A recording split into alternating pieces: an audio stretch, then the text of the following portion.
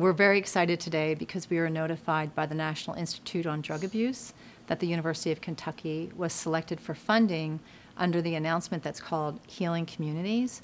Uh, and our application is called Kentucky Can Heal. For research, it's um, undoubtedly the largest single award that we will have received at the University of Kentucky to tackle a specific problem. We've been successful against the steepest competition you can find to heal folks in Kentucky and their families that are battling opioid use disorder. I mean, it has been a scourge like no one can believe.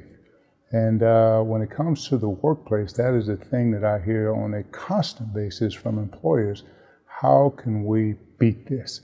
And uh, so, with that in mind, uh, with this opportunity for the university and for the state to work together, we welcome the opportunity. When Kentucky's hurting over something like this, it's the responsibility of the University of Kentucky to respond.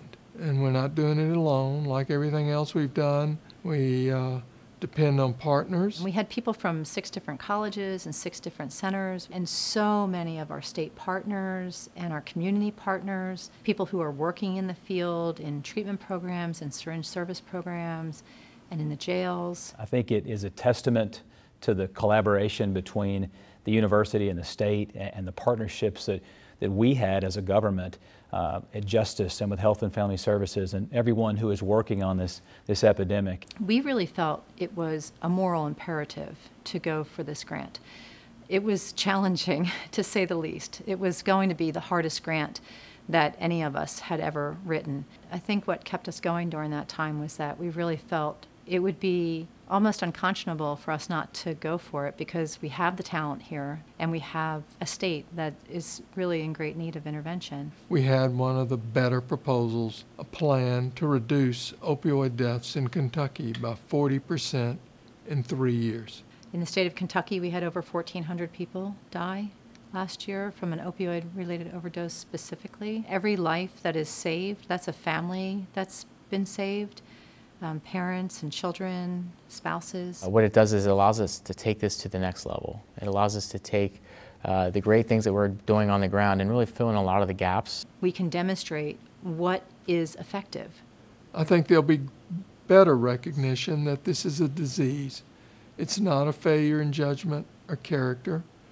It's like diabetes or heart disease. It is such a significant problem, the opioid problem in Kentucky and receiving this particular support through the HEAL initiative is really about the only way I think we could really actually tackle the problem.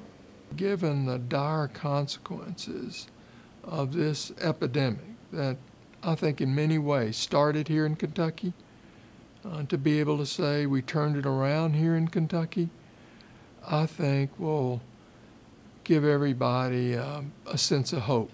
There's a lot of work that is in front of us to actually implement this grant and to get the project rolling and to get all the communities engaged. And I just like to look forward to three years or so from now where we've really seen a downturn in our numbers for overdose deaths and can attribute some of that to the HEAL grant.